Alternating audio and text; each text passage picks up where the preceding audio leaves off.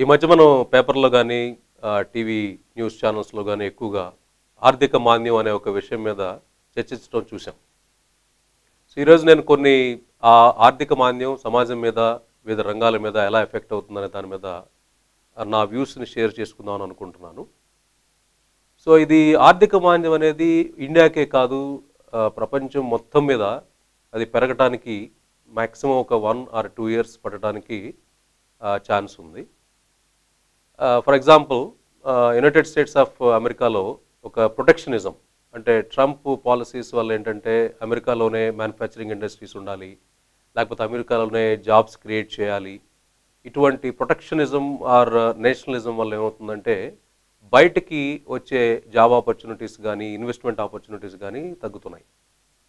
అలాగే యూకేలో బ్రెగ్జిట్ అనేది కూడా మనకి చాలా మన ఇండియన్ ఎకానమీ మీద కానీ మిగతా దేశాల ఆర్థిక వ్యవస్థ మీద ఇంపాక్ట్ చూపించడానికి చాలా ఆస్కారం ఉంది. ఈ మధ్య ట్రేడ్ వార్ ఒకటి చైనాకి అమెరికాకి మధ్య జరుగుతుంది. వీళ్ళు ఇంపోర్ట్ చేసిన దాని మీద వాళ్ళు ఇంపోర్ట్ చేసిన దాని మీద టారిఫ్స్ బాగా పెంచేయటం వల్ల కాస్ట్ ఏదైతే పెరిగిందో టారిఫ్స్ వల్ల అది కస్టమర్స్కి పాస్ చేయటం వల్ల ఏమవుతుందంటే కన్జ్యూమింగ్ కన్జ్యూమర్స్ అనేవాళ్ళు ఆ కొండను తగ్గించారు. ఎప్పుడైతే ప్రజలు కొనటం తగ్గిస్తారో అప్పుడు మెల్లగా ఆర్థిక మాంద్యం అనేది పెరుగుతూ ఉంటుంది. ఇవి గ్లోబల్గా జరుగుతున్న ఇంపాక్ట్స్. సో ట్రంప్ ఎఫెక్ట్ కావచ్చు బ్రెగ్జిట్ ఎఫెక్ట్ కావచ్చు చైనా యుఎస్ఏ ట్రేడ్ వార్ కావచ్చు. మన భారతదేశానికి సంబంధించి లాస్ట్ వన్ టూ ఇయర్స్ నుంచి ఆటోమోటివ్ ఇండస్ట్రీ అనేది చాలా ఇంపాక్ట్ అవుతుంది. ఆల్మోస్ట్ ఇప్పటికే ఒక మూడు లక్షల జాబ్స్ దాకా పోయినాయి. రియల్ ఎస్టేట్లో కూడా చాలా జాబ్స్ పోతున్నాయి. అలాగే ఒక ఐదు లక్షలు జాబ్ పోవడానికి ఆస్కారం ఉంది. సార్ ఐటీ సెక్టర్ అనేది అది ఆపర్చునిటీ ఉంది అలాగే ప్రాబ్లమ్స్ రావడానికి కూడా ఛాన్స్ ఉంది. దాని గురించి కూడా కొంచెం మాట్లాడదాం. ఒకసారి ఆటోమోటివ్ సెక్టర్ చూసుకుంటే ఈ రెండు సంవత్సరాల్లో పెరిగిన రేట్లు అంటే ఈ మధ్య కొన్ని మన మన బెనిఫిట్స్ కోసం పెట్టిన పాలసీస్ కావచ్చు ఒకటి సెక్యూరిటీ కానీ లేకపోతే ఈ కార్బన్ ఎమిషన్స్ తగ్గించాలి అన్న పాలసీస్ వల్ల కార్ మ్యానుఫ్యాక్చరింగ్ కాస్ట్ పెరుగుతుంది.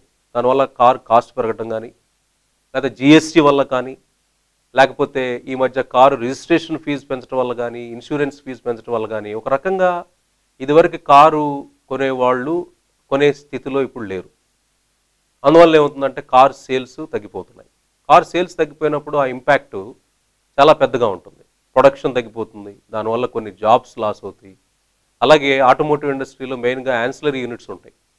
ఈ యాన్సిలరీ యూనిట్స్లో కూడా ఈ ఆటోమోటివ్ ప్రొడక్షన్ తగ్గినప్పుడు వాళ్ళ ప్రొడక్షన్ తగ్గుతుంది యాన్సిలరీ యూనిట్స్ ప్రొడక్షన్ కూడా. అక్కడ కూడా ఎంప్లాయ్మెంట్ ఇదంతా కూడా ఎఫెక్ట్ అవుతుంది. ఇదేంటంటే ఒక నెట్వర్క్ ఎఫెక్ట్ లాగా ఒక మొత్తం ఆటోమోటివ్ సెక్టార్ దాని చుట్టూ ఉన్న చిన్న చిన్న కంపెనీలు కూడా ఎఫెక్ట్ అవుతున్నాయి. నెక్స్ట్ రియల్ ఎస్టేట్ అనేది అనదర్ ఇంపార్టెంట్ సెగ్మెంట్ మన ఇండియాలో చాలా బాగా ఇంపాక్ట్ అవుతుంది. ఏ సిటీలో చూసినా సరే చాలా అమ్మలేని హౌస్లు కానీ బిల్డింగ్స్ కానీ ఉన్నాయి. మొత్తం మీద ఇప్పటికీ పదమూడు లక్షల హౌసెస్ ఇండియా మొత్తం మీద ఇప్పటివరకు వాళ్ళు సెల్ చేయలేకపోయారు. అంటే డిమాండ్ తగ్గింది. అక్కడ కూడా చాలా కారణాలు ఉండొచ్చు. జిఎస్టీ కారణం కావచ్చు కాస్ట్ పెరగటం కావచ్చు అలాగే బ్యాంక్ లోన్స్ యొక్క ఇంట్రెస్ట్ కావచ్చు. ప్రజల్లో కొనాలి అన్న ఇంట్రెస్ట్ తగ్గినప్పుడే ఆర్థిక మాంద్యం మొదలవుతుంది. సో రియల్ ఎస్టేట్లో కూడా ఇంకొక సంవత్సరం రెండేళ్ళలో ఒక నాలుగైదు లక్షల జాబ్ పోవడానికి ఆస్కారం ఉంది. మనం కనుక సరైన మెజర్స్ తీసుకోపోతే. సో ఈ రెండు సెగ్మెంట్స్ అయితే ఆల్రెడీ ఈ ఆర్థిక మాంద్యం వల్ల ఎఫెక్ట్ అయినాయి. ఇంకా కొన్ని రీటైల్ అలాగే మన కన్జ్యూమర్ గూడ్స్ సెక్టార్స్ కూడా ఎఫెక్ట్ అవుతాయి. ఎప్పుడైతే ప్రజల యొక్క ఇన్కమ్ తగ్గటం కాస్ట్ పెరిగినప్పుడు అన్ని సెక్టార్స్లో కూడా ఆ కన్జంప్షన్ తగ్గినప్పుడు ఆర్థిక మాంద్యం పెరుగుతుంది. సో తర్వాత ఐటీ సెక్టర్ ఈ ఐటీ సెక్టర్ అనేది చాలా ఇంట్రెస్టింగ్ స్పేస్ uh, దీనిలో రెండు రకాలైన వాదనలు ఉన్నాయి. ఇప్పుడు గ్లోబల్ రిసెషన్ అనేది చాలా ఇంపాక్ట్ చేస్తుంది ఐటీ మీద. మన దగ్గర ఉన్న పెద్ద పెద్ద కంపెనీలు వాళ్ళకి ఎక్కువగా బిజినెస్ అమెరికా నుంచి కావచ్చు లేకపోతే యూరోప్ నుంచి కావచ్చు లేకపోతే కొంతవరకు సౌత్ ఈస్ట్ ఏషియా నుంచి కావచ్చు రావచ్చు. అక్కడ రిసెషన్ వచ్చిందంటే అక్కడ ఉన్న ఇండస్ట్రీస్ ప్రాబ్లంలోకి వెళ్ళినప్పుడు యూజువల్గా వాళ్ళు ఏం చేస్తారంటే లైట్స్ ఆన్ అంటే రోజువారీగా జరగాల్సిన విషయాల వరకే ఎక్కువగా ఫోకస్ చేస్తూ కొత్త ఇన్వెస్ట్మెంట్ చేయరు. కొత్త కొత్త ప్రాజెక్ట్స్ ఇవ్వడానికి కొంచెం వెనకాడతారు. ఇన్వెస్ట్మెంట్స్ కూడా తగ్గిస్తారు. సో ఆ ఇన్వెస్ట్మెంట్స్ తగ్గినప్పుడు కొత్త ప్రాజెక్ట్స్ తగ్గినప్పుడు ఏమవుతుందంటే ఇండియన్ ఐటీ సెక్టార్ మీద కొంత ఎఫెక్ట్ పడడానికి ఛాన్స్ ఉంది. కానీ ఇదివరకు ఒక లాస్ట్ ఐదేళ్ళ నుంచి లేకపోతే పదేళ్ళ నుంచి జరుగుతున్న ఎంగేజ్మెంట్స్ ఉంటాయి. అంటే వాళ్ళ అప్లికేషన్స్ కానీ కస్టమర్స్ యొక్క సాఫ్ట్వేర్ అప్లికేషన్స్ కానీ వాళ్ళ ఇన్ఫ్రాస్ట్రక్చర్ కానీ మెయింటైన్ చేస్తూ ఉన్న వర్క్ మీద పెద్ద ఇంపాక్ట్ ఉండకపోవచ్చు. కానీ కొత్తగా వచ్చే ప్రాజెక్ట్స్ మాత్రం కొంచెం స్లోడ్ అవడానికి అవటానికి ఛాన్స్ ఉంది. ఇది ఎప్పుడు జరగవచ్చు అంటే ఇమీడియట్గా జరగదు. నాకు తెలిసి ఈ రిసెషన్ బాగా పీక్కి వెళ్ళేది రెండు వేల ఇరవై ఒకటిలో జరగడానికి ఎక్కువగా ఛాన్స్ ఉంది. ఏది ఇండియన్ ఐటీ సెక్టర్ మీద. కానీ మన ఇండియాలో భారతదేశంలో automotive real real estate sector కానీ కొంతవరకు రీటైల్ కానీ ఆల్రెడీ ఆర్థిక మాంద్యంలోకి వెళ్ళిపోయినాయి.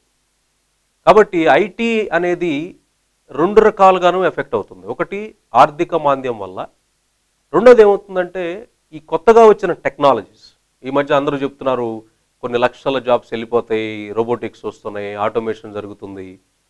దానివల్ల చాలా వరకు జాబ్స్ పోతాయి అని చెప్తున్నారు కానీ నా వ్యూలో సాఫ్ట్వేర్ అనే దానికి ఆపర్చునిటీస్ రాబోయే కాలంలో ఎక్కువ ఉంటాయి. షార్ట్ టర్మ్లో కొంత ఆర్థిక మాంద్యం ఉన్నా అది గ్రోత్ కొంత తగ్గినా last next three to five years టైంలో ఇప్పుడున్న జాబ్ల కంటే కూడా డబుల్ ట్రిపుల్ జాబ్స్ రావడానికి ఆస్కారం ఉంది. కాకపోతే ఇక్కడ ఇంపార్టెంట్ విషయం ఏంటంటే ఆ జాబ్స్ అనేవి పాతకాలపు నైపుణ్యంతో రావు. ఇప్పుడు ఆర్టిఫిషియల్ ఇంటెలిజెన్స్ మెషిన్ లెర్నింగ్ లేకపోతే block chain internet of things అని ఆగ్యుమెంటెడ్ రియాలిటీ వర్చువల్ రియాలిటీ ఇటువంటి ఆ మొబైల్ అప్లికేషన్స్ కొత్త తరంలోనివి. ఇటువంటి అప్లికేషన్స్ అలాగే పైథాన్ అని కొత్తగా ఇప్పుడు చాలా అగ్రెసివ్గా ఇప్పుడు వస్తుంది. ఈ కొత్త కొత్త విషయాలలో నేర్చుకుంటే జాబ్ ఆపర్చునిటీస్ ఎక్కువ ఉంటాయి. అలాగే పాతగా ఇప్పుడు ఏదో ఇప్పుడు జావా కానీ డాట్ నెట్ అంటే అది బేసిక్ స్కిల్ అయిపోయిందే కానీ దానివల్ల పెద్ద గొప్పగా హెచ్వే ఉంటుందని నేను అనుకోవట్లేదు. కాబట్టి ఈ టెక్నాలజీ రంగంలో అభివృద్ధి కావాలి అంటే ఇప్పుడు పోని ఇంజనీరింగ్ స్టూడెంట్స్ కానీ ఎంసీఏ వాళ్ళు కానీ లేకపోతే ఎంఎస్సి ఏదైనా పోస్ట్ గ్రాడ్యుయేషన్ వాళ్ళు ఐటీ రంగంలోకి వెళ్ళాలి అనుకున్నప్పుడు కొత్త టెక్నాలజీస్ని బాగా నేర్చుకోవాలి. పాత టెక్నాలజీస్ వల్ల ఉపయోగం ఉండకపోవచ్చు. సో సరే ఈ గో గ్లోబల్ ఆర్థిక మాంద్యము అంటే ప్రపంచంలో జరుగుతున్న ఆర్థిక మాంద్యం వల్ల రెండు మూడు సంవత్సరాల్లో ఐటీ సెక్టర్ ఎలా ఎఫెక్ట్ అవుద్ది అనేది నా ఉద్దేశం ఏంటంటే ఒకటి బ్యాంకింగ్ ఫైనాన్స్ సెక్టర్ కానీ అక్కడ అంటే అమెరికాలో కానీ యూరోప్లో కానీ వాళ్ళకున్న ప్రాబ్లమ్స్ వల్ల అక్కడున్న ఇండస్ట్రీస్ బ్యాంకింగ్ ఫైనాన్స్ కావచ్చు రీటైల్ కావచ్చు కొంతవరకు హెల్త్ కేర్ కావచ్చు ఇట్లాంటి వాటి మీద బాగా ఎఫెక్ట్ పడటానికి ఛాన్స్ ఉంది. దానివల్ల ఏమవుతుందంటే మన భారతదేశంలో ఉన్న పెద్ద ఐటీ కంపెనీల్లో ఎక్కువగా రెవెన్యూ మిగతా దేశాల నుంచి వచ్చేది బ్యాంకింగ్ ఫైనాన్స్ రంగం ఒకటి హెల్త్ కేర్ రంగం ఒకటి ఎక్కువగా వస్తూ ఉంటుంది.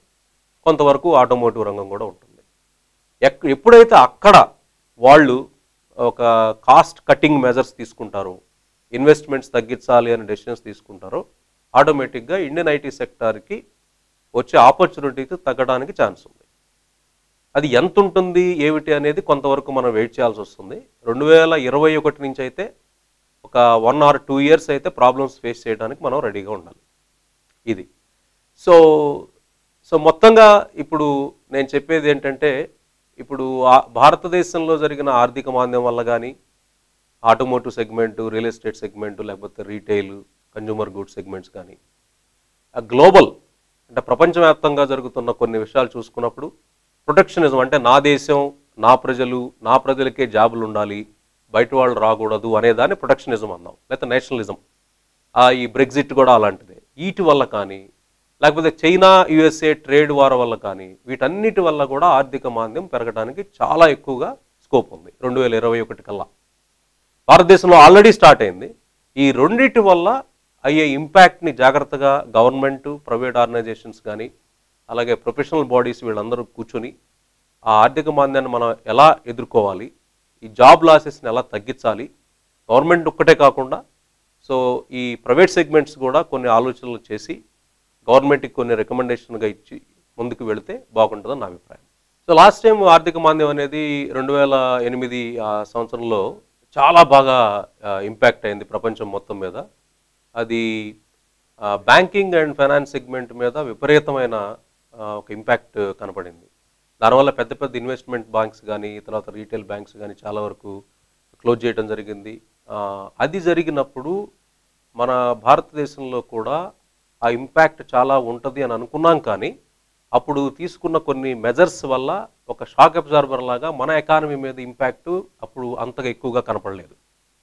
సో కాబట్టి అప్పుడు ఐటీ ఇండస్ట్రీ మీద బాగా ఇంపాక్ట్ పడింది ఏంటంటే బ్యాంకింగ్ ఫైనాన్స్ సెగ్మెంట్ అయితే కొలాప్స్ అయింది. దానివల్ల కొన్ని కొన్ని కంపెనీల్లో చిన్న కంపెనీలు కొన్ని అసలు ఒక ఇద్దరు ముగ్గురు కస్టమర్స్ ఉంటాం. వాళ్ళు ఓన్లీ బ్యాంకింగ్ సెగ్మెంట్ మీద డిపెండ్ అయి ఉంటాం.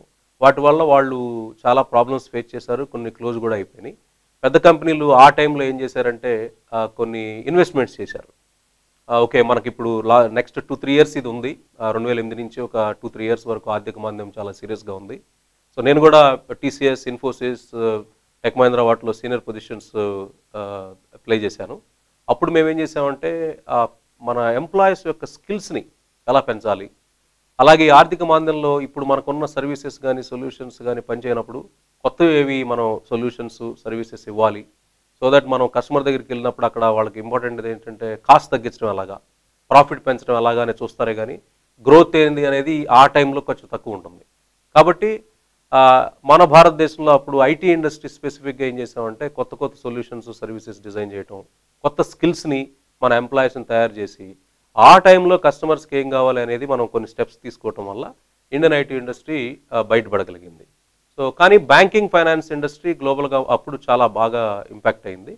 ఎస్పెషల్లీ మన యుఎస్ నుంచి అది మొదలయ్యి మొత్తం అన్ని దేశాలు పాకిందనమాట. సో ఏ ఆర్థిక మాంద్యమైనా నా ఒపీనియన్లో ఒక రెండు మూడు సంవత్సరాలు అయితే ఆ ఎఫెక్ట్ ఉంటుంది. దానికి రెడీగా ఉండాలి. అది దేశం కావచ్చు లేకపోతే ప్రపంచం కావచ్చు అలాగే కంపెనీస్ కావచ్చు ప్రొఫెషనల్ బాడీస్ కావచ్చు వీళ్ళందరూ కలిసికట్టుగా ఏ విధంగా దీన్ని మనం ఓవర్కమ్ చేయాలనేది ఆలోచించాలి ఒక గవర్నమెంట్ మీదే వదిలేయకూడదు అని నా అభిప్రాయం.